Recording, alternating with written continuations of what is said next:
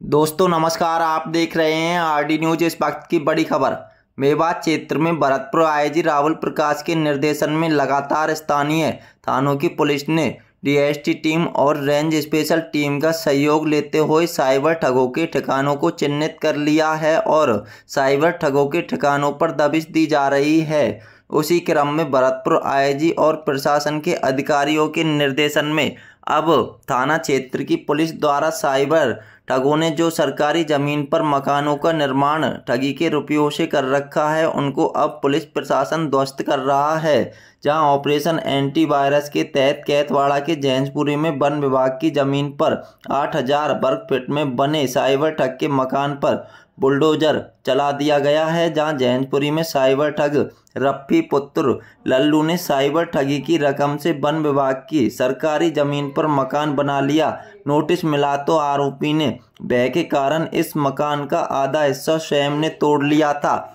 जहाँ साइबर ठगों के विरुद्ध लगातार अब मेवात क्षेत्र में पुलिस, प्रशासन के अधिकारी, कर्मचारियों ने ठगी के पैसों से सरकारी ज़मीन पर बने मकानों को चिन्हित करना शुरू कर दिया है। जहाँ 26 मकानों को और पुलिस प्रशासन ने चिन्हित कर लिया है, जिसे लेकर साइबर ठगों सहित अन्य अपराधियों में हड़कंप मचा हुआ है। जहाँ लगातार भरतपुर आईजी के निर्देशन में ऑपरेशन एंटी वायरस चला रखा है उसी क्रम में बुलडोजर का पंजाबी अब साइबर ठगों के मकानों पर चलने लगा है, जिसे लेकर साइबर ठगों में काफ़ी पे दिखाई दे रहा है। जहाँ साइबर ठग ने अपने मकान को स्वयं ही तोड़ लिया था, जिसके बाद पुलिस प्रशासन ने दूसरे दिन पहुंचकर जेसीबी चलाकर पूरे मकान को ध्वस्त कर दिया है, जहाँ special range team, DST team सहित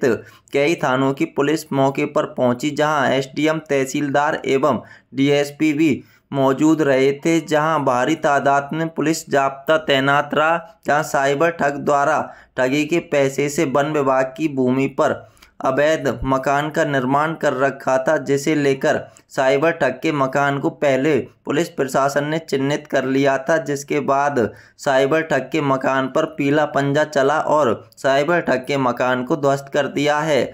भरतपुर आईजी राहुल प्रकाश एवं डीएसपी राजेश मीना के निर्देशन में अभी 36 मकानों सहित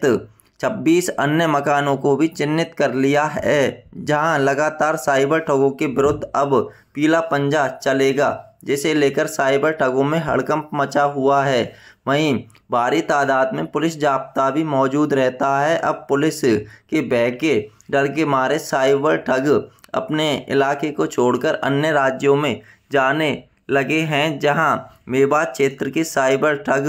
अब काफ़ी हद तक साइबर ठगी पर अंकुश